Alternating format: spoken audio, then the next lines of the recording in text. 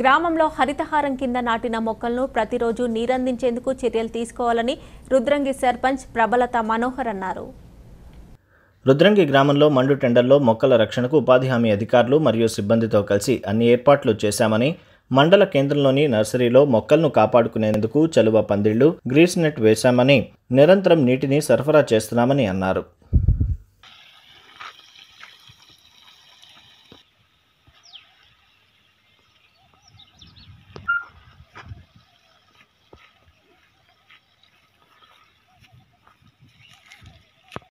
గ్రామంలో గ్రామ పంచాయతీ ఆవరణలో ఏర్పాటు చేసినటువంటి నర్సరీ మేము లక్ష మొక్కలు టార్గెట్ పెట్టుకొని దాన్ని ఇప్పటి వరకు చాలా మీ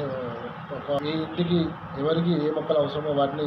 ఇప్పటి ఇప్పటి నుంచే ప్లాన్ చేసుకొని వాటిని మన నర్సరీలో అందుబాటులో తీసుకొచ్చినాం కాబట్టి గ్రామ ప్రజలు ఈ అవకాశాన్ని సద్వినియోగం చేసుకొని